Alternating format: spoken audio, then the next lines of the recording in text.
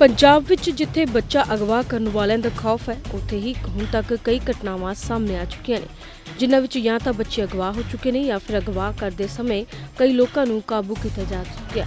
ਬਠਿੰਡਾ ਵਿੱਚ ਵੀ ਅਜਿਹਾ ਇੱਕ ਮਾਮਲਾ ਸਾਹਮਣੇ ਆਇਆ ਜਦੋਂ ਬਠਿੰਡਾ ਵਿੱਚ ਇੱਕ ਔਰਤ ਵੱਲੋਂ ਬੱਚੇ ਨੂੰ ਅਗਵਾ ਕਰਨ ਦੀ ਕੋਸ਼ਿਸ਼ ਕੀਤੀ ਗਈ। ਪਰ ਇਸ ਕੋਸ਼ਿਸ਼ ਨੂੰ ਉੱਥੋਂ ਦੇ ਲੋਕਾਂ ਨੇ ਨਾਕਾਮ ਕਰ ਦਿੱਤਾ ਅਤੇ ਬੱਚੇ ਚੁੱਕਣ ਵਾਲੀ ਇਸ ਔਰਤ ਨੂੰ ਫੜ ਕੇ ਪੁਲਿਸ ਦੇ ਹਵਾਲੇ ਕਰ ਦਿੱਤਾ। ਲੋਕਾਂ ਦਾ ਦੋਸ਼ ਹੈ ਕਿ ਔਰਤ ਮੁਹੱਲੇ ਵਿੱਚੋਂ ਬੱਚੇ ਚੁੱਕਦੀ ਸੀ ਅਤੇ ਰਾਤ ਨੂੰ 11 ਵਜੇ ਇਸ ਔਰਤ ਨੂੰ ਕਾਬੂ ਕੀਤਾ ਗਿਆ। ਇਹ ਪ੍ਰਵਾਸੀ ਔਰਤ ਤੇ ਦੋਸ਼ ਲੱਗੇ ਨੇ ਕਿ ਉਸਨੇ ਬੱਚੇ ਚੁੱਕਣ ਦੀ ਕੋਸ਼ਿਸ਼ ਕੀਤੀ।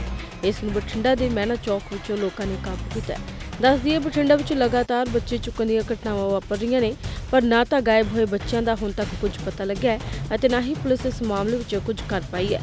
ਫਿਲਹਾਲ ਇਸ ਔਰਤ ਨੂੰ ਪੁਲਿਸ ਦੇ ਹਵਾਲੇ ਕਰ ਦਿੱਤਾ ਗਿਆ ਅਤੇ ਕਿਹਾ ਜਾ ਰਿਹਾ ਹੈ ਪੁਲਿਸ ਜਾਂਚ ਵਿੱਚ ਹੋਰ ਵੀ ਖੁਲਾਸੇ ਇਸ ਔਰਤ ਤੋਂ ਹੋ ਸਕਦੇ ਨੇ।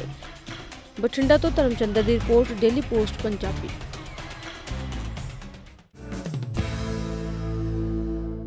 ਸਤਿ ਸ਼੍ਰੀ ਅਕਾਲ। ਜੇ ਤੁਸੀਂ ਕੈਨੇਡਾ ਸਟੂਡੈਂਟ ਵੀਜ਼ੇ ਤੇ ਜਾਣਾ ਚਾਹੁੰਦੇ ਹੋ, ਤੇ ਜਨਵਰੀ 2020 ਦੇ ਦਾਖਲੇ ਖੁੱਲ ਚੁੱਕੇ ਹਨ। You know SDS non SDS university ਪ੍ਰਣਾਲੀ ਦੇ ਅੰਦਰ ਤੁਸੀਂ ਜਨਵਰੀ ਸੈਸ਼ਨ ਦੇ ਲਈ ਦਾਖਲਾ ਲੈ ਕੇ ਟਾਈਮ ਸਿਰ ਆਪਣਾ ਵੀਜ਼ਾ ਫਾਈਲ ਕਰ ਸਕਦੇ ਹੋ ਔਰ ਕੈਨੇਡਾ ਜਾਣ ਦੇ ਆਪਣੇ ਸੁਪਨੇ ਨੂੰ ਸਾਕਾਰ ਕਰ ਸਕਦੇ ਹੋ।